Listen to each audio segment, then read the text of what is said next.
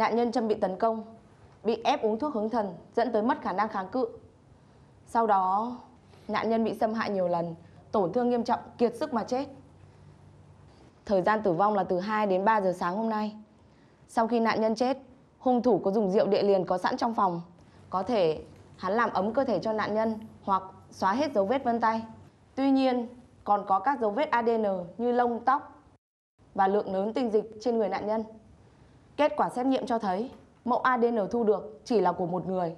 Nó không trùng với ADN của các đối tượng nam giới trong xóm trọ nhà bà Quý, mà lại trùng với ADN tại phòng Đặng Lân, cháu trai bà Quý. Báo cáo thủ trưởng, bộ phận trinh sát đang tiến hành giả soát mọi điểm đến. Đã xác định được vài manh mối, tôi tin chắc rằng trong ngày hôm nay sẽ bắt được Đặng Lân. Khánh có ý kiến gì không? Trong số tăng vật tìm được, không thấy điện thoại của nạn nhân. Tôi nghĩ hắn đã bán hoặc dùng để liên lạc. Giờ chỉ cần một trong hai máy hoạt động, em sẽ tìm ra hắn. Thằng này á, nó chuyên ngồi đằng kia kìa anh ạ. Mà toàn ngồi một mình thôi. Uống thì nó không uống được nhiều nhưng mà nó lại hay uống. Có hôm á, say mềm gục ngay tại bàn ấy. Tôi phải cho người đưa vào trong, con sợ nó bị gió. Thì đánh giá anh ta là người thế nào? Thì cũng được, không nợ tiền bia.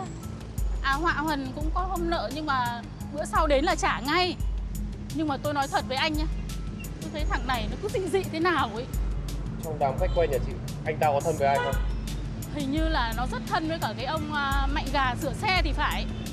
Có thân thiết gì đâu anh Chẳng qua anh em thỉnh thoảng hun tiền thả con lô Đấy Chính cái hôm trước Nó cứ đòi cốt còn 8338 Làm cho tôi mất toi cả một tháng học phí của thằng cu con lớn ở nhà Vì vợ cấm uống bia Nghĩ lại mà thấy bực Thế chú có biết gì thêm về anh ta không?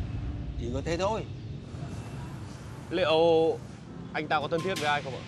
Tôi không biết ai Nhưng tính cái thằng đấy như thế Thì làm gì có bạn bè Tôi không biết có phải nó gây tội với con Trâm hay không.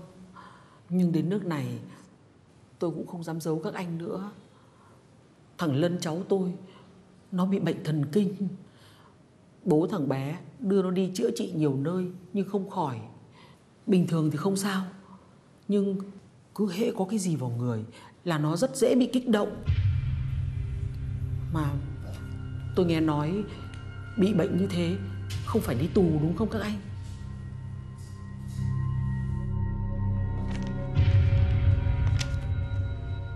Thằng này có hoa tay phết nhỉ? Chắc là vẽ trong lúc say. Tại sao? Vì tỉnh táo chả ai vẽ như này. Mỗi cái một kiểu, chắc là cố tỏ ra nguy hiểm.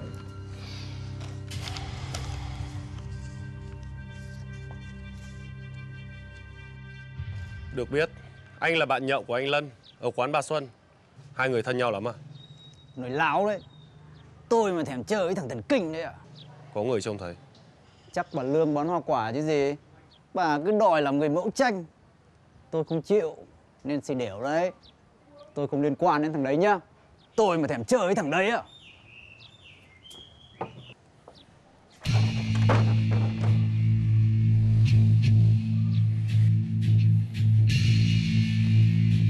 Đối tượng không về nhà, cũng không tới hàng bia hay quán cà phê thường ngồi. Bạn bè thì sao? Thằng này không có bạn. Báo cáo anh, em đã định vị được điện thoại của nó rồi ạ.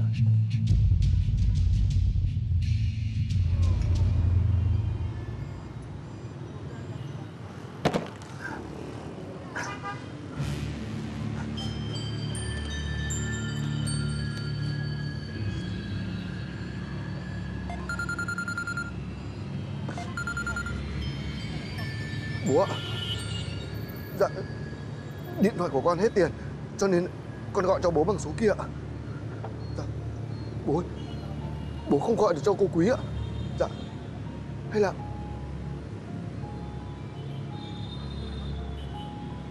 Dạ Con có chuyện này. Con muốn nói thật với bố ạ.